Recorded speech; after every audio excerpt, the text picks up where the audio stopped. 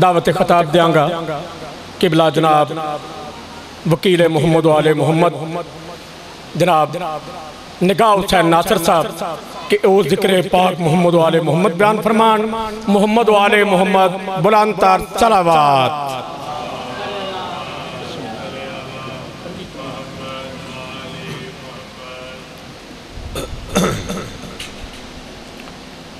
انواد عصمت و طہارت پہ مل کر باواز بلند سلوات پڑھی۔ صلی محمد آل محمد۔ اعوذ باللہ من الشیطان الرجیم، بسم اللہ الرحمن الرحیم۔ الحمدللہ رب العالمین والعاقبت للمتقین۔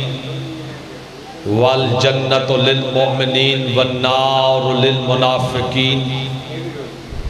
والصلاة والسلام على أشرف الأنبياء والمرسلين محمد المصطفى وآله الطاخرين أما بعد، قال رسول الله صلى الله عليه وسلم، إني تارك فيكم السقلين کتاب اللہ و عطرت اہل بیتی آل محمد کے احسانات کو یاد کر کے حال جزا الاحسان اللہ الاحسان کے تحت جتنی بلند سلوات پڑھ سکتے ہیں، اتنی بلند سلوات پڑھ دیں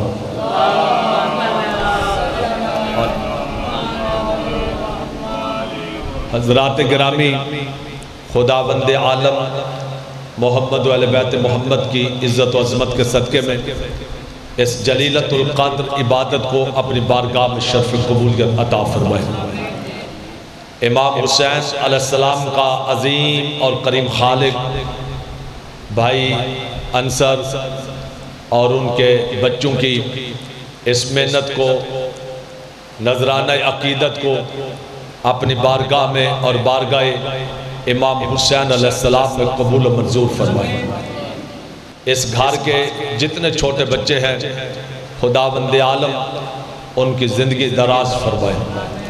آپ تمام عزت مام مومنین، جتنے جتنے قدم چل کر کائنات کے افضل ترین ذکر میں شریک ہے خدا بند عالم، آپ کو قدم قدم پر اجر عظیم عطا فرمائے۔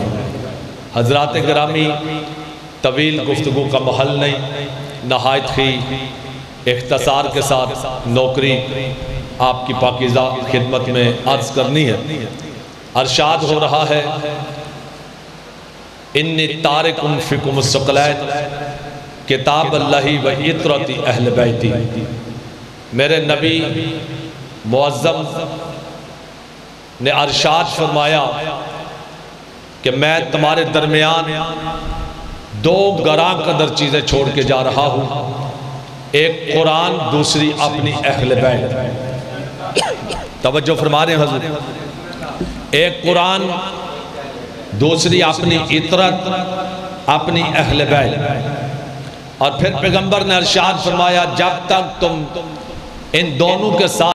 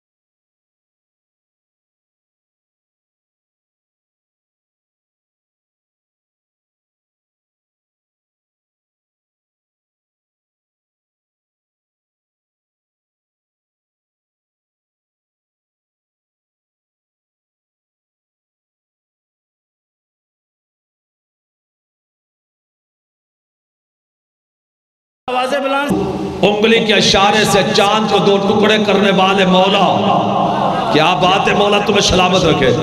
اسی طرح بیدار ہو کے فکریں سننا جی۔ اے میرے مولا، میرے آقا، آپ پرشاد فرما رہے ہیں، میں قرآن چھوڑ کے جا رہا ہوں، اہل بیت کو چھوڑ کے جا رہا ہوں۔ یا رسول اللہ، قرآن بھی خاتی اہل بیت بھی خاتی قرآن کا کام بھی خدایت کرنا، اہل بیت کا کام بھی خدایت کرنا۔ یا رسول اللہ، جب دونوں کا کام خدایت کرنا ہے، یا پھر قرآن کو چھوڑیے، یا پھر اہل بیت کو چھوڑیے۔ عجب نہیں پیغمبر کی آواز آئے، میں دونوں کو اس لیے چھوڑ کے جا رہا ہوں۔ اگر تمہیں قرآن کی سمجھ نہ آئے تو اہل بیت سے پوچھ لینا۔ اہل بیت کی سمجھ نہ آئے تو قرآن سے پوچھ لینا۔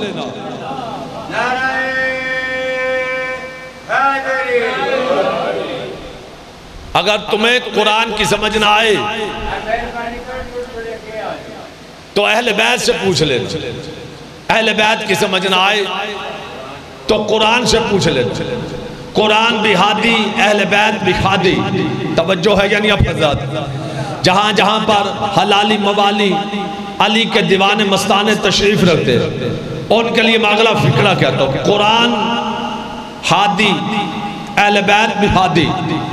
اور قرآن کیا کہنے اس قرآن کی عزت و عظمت کے؟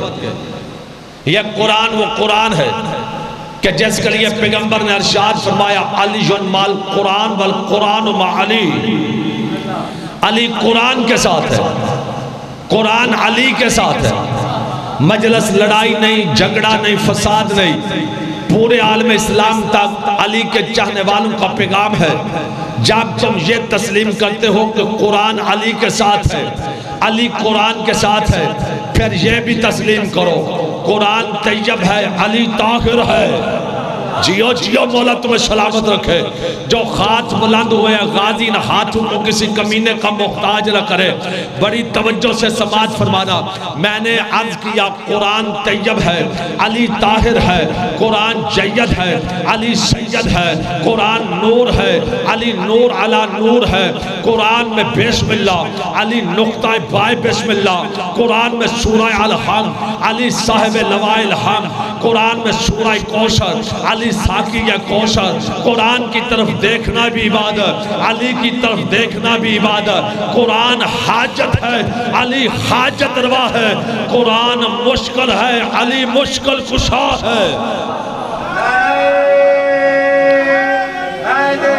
یا علی علی، اس طرح نہیں جتنا علی پسند ہے۔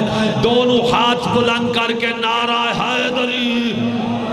مولا تمہیں سلامت رکھے۔ حسین کی ماں کے علم